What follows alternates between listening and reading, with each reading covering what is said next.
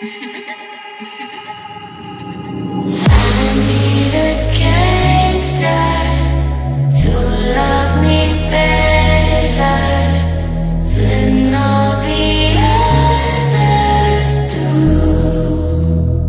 Hello tout le monde, aujourd'hui on se retrouve pour mon premier maquillage Halloween qui est une Harley Quinn version DC Comics. C'est un tuto que j'ai vu sur la chaîne de Jordan Hans sur YouTube qui est absolument génial. Je vous mettrai le lien dans la barre d'infos et j'ai voulu le reproduire un petit peu à ma manière. J'espère que ça va vous plaire et c'est parti. Harley Quinn a vraiment le visage très très pâle et pour éviter d'utiliser du blanc, je vais venir utiliser un fond de teint qui est beaucoup plus clair que ma carnation. C'est un fond de teint de chez Hit Cosmetics qui est vraiment très très pâle. Donc je vais venir appliquer sur tout mon visage, seulement sur le visage, et je vais venir ensuite poudrer avec une poudre libre. Donc là j'utilise la Master Fix de chez Gemini Maybelline que j'applique partout et très généreusement sur mon visage. Une fois que ça c'est fait, on va venir passer tout de suite à la première étape du dessin. Pour ça, je vais prendre un petit crayon à sourcils de chez Gemini Maybelline, noir. Vous pouvez prendre un crayon colle ou n'importe quel crayon qui vous convient. Et je vais commencer par dessiner la bouche. Donc elle doit être beaucoup plus grande que ma bouche à moi. Et je fais aussi l'arc de Cupidon. On va aussi venir dessiner le masque. Vous avez le droit de vous tromper, c'est vraiment pas grave parce qu'après vous allez repasser par-dessus avec de la peinture. Donc aucun souci, vous faites vraiment la forme que vous voulez. Et ensuite je vais faire la fraise sur mon torse. Donc je ne suis pas toute nue, j'ai juste un débardeur euh, voilà, où on peut voir quand même mes épaules. Donc j'ai dessiné une fraise et comme je le disais, vous avez le droit de vous tromper. Et à l'intérieur du masque, on va venir tracer des petites œillères en fait pour faire vraiment les bords du masque. Avec un blush rose de chez Too Faced, je vais venir faire comme une sorte de contouring. En fait, je vais venir faire mon contouring mais avec du rose. Donc j'en applique vraiment généreusement sur euh, mes tempes, dans le creux de mes joues et également euh, sous mon menton. Et avec le Hula de Benefit, je vais venir creuser mes yeux. Donc là, j'en mets généreusement sur mes paupières. On estompe le tout. Et ensuite, on va prendre de la peinture blanche. Donc là, j'ai pris un blanc de clown de chez euh, Makeup Forever que je viens appliquer généreusement encore une fois avec un pinceau. Vous pouvez y aller aussi avec le Beauty Blender, aucun problème. Vous pouvez même demander de l'aide à quelqu'un si jamais vous n'arrivez pas toute seule. On prend ensuite une peinture rouge qui vient pareil de chez Makeup Forever. Et en fait là je vais faire la moitié de mon corps avec la peinture rouge. Donc j'en applique vraiment partout. Pareil, vous avez le droit de vous tromper, c'est pas très grave. Je m'arrête au milieu et de l'autre côté, je vais utiliser du noir, pareil, de chez Makeup Forever. Et comme je suis droitière, c'est un petit peu plus compliqué pour moi de faire mon côté droit. Donc si jamais vous avez quelqu'un à côté de vous, vous voyez, Tiffany est venue m'aider, c'est beaucoup plus facile.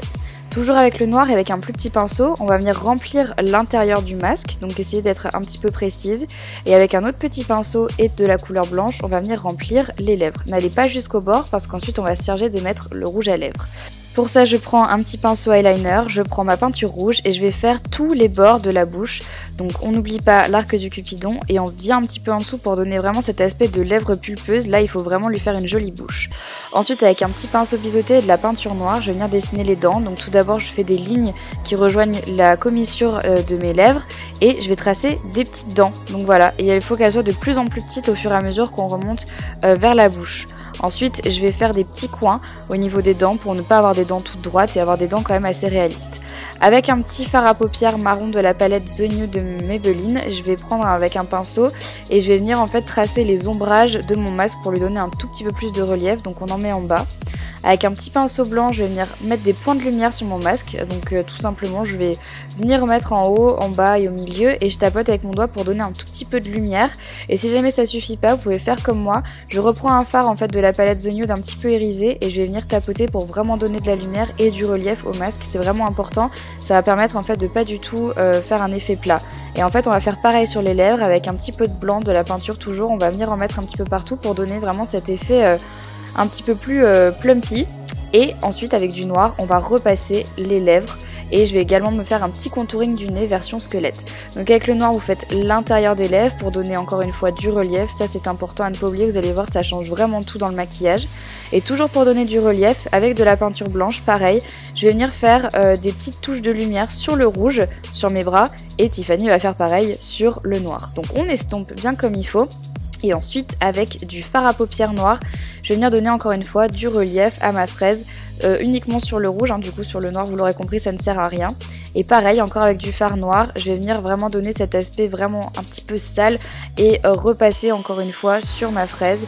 Je vais même faire des petits triangles, ça c'est pas du tout euh, obligatoire, mais je trouvais ça joli et je trouvais que ça allait bien dans le personnage d'Harley Quinn. voilà, de lui faire des petits triangles, j'aimais bien, je me, suis, voilà, je me suis sentie inspirée.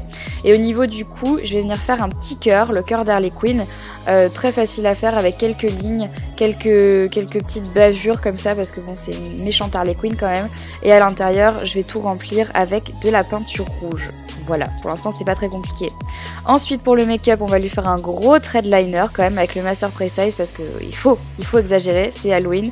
Et avec un fard à paupières noir je vais faire le creux de paupière vraiment de façon très exagérée, sans estomper.